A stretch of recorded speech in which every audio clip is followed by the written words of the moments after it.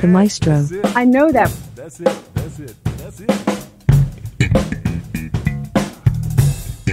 The Maestro. The Maestro. Dirty. Come on, come on, y'all. Really? I think that would be cool though. Mm-hmm. Why? The Maestro. Choice.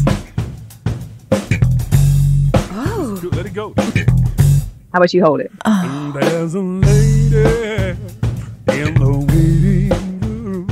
She got a lady No that gay.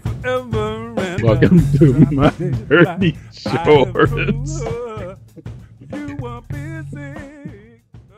I know, right? I, every time, like it's brand new.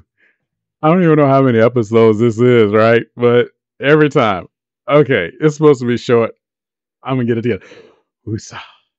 Okay. Sometimes it's good to train outside your sport. Sometimes it's good to find someone who can help you with the kinesiology or the physiology or the other aspect physical aspects of your sport by doing something outside of your sport. I'll speak from me. I damaged my shoulder. I learned to throw right-handed by going to the football coach who had me throw a football right-handed. And from there I developed my right-handed ability to throw ba- a baseball. My shoulder got better. I can now throw with both hands. But I thought it was so interesting that when he started me with the drill, it wasn't with a tennis ball, it wasn't with a ping pong ball, it was it, it was actually a football. Being able to manipulate, control the football, and make a throw with a football with my opposite hand. And that helped me, ironically enough, with my handle in basketball, being able to now handle the ball better with both hands because all those little micro muscles that you trigger. For my footwork, I you all know how much I love to take charges. Well, a lot of that or all of that had to do with my footwork. And it was a partner of my mom's who played ball with my mom's who took me to a ballet instructor. And she taught me all these various foot positions and things like that to help me be a little bit quicker to get myself in position to take the charge. And it worked. I would use those all the time and even started to coach those when I became a coach. The other thing that helped me outside of sports was my shooting, either left handed or right handed. I would actually shoot with a, you know, the, the little plastic balls that have the holes in them that are kind of wiffle crazy.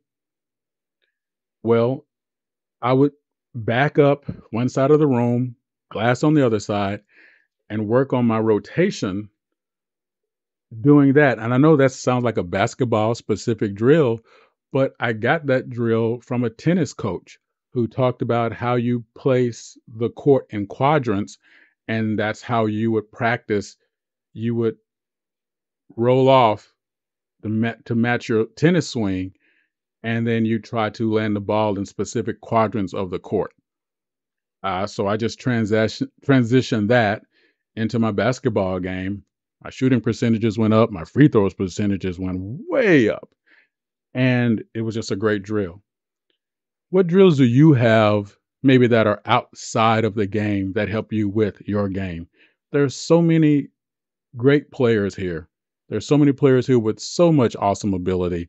I'd like to know are there things that you do that you want to share that are not necessarily basketball related that help to make your basketball game better? Drop a line in the bottom. Let's talk about it. Thank you all for checking out my dirty shorts. There you go. Oh wait, you want me to read? Thank you for listening to The Maestro. Thank you again for checking out The Maestro's Dirty Choice. drop a tag below and give us a piece of your mind. See you next time and Is it last call? Have you seen my glasses? The maestro. Dirty. Shorts!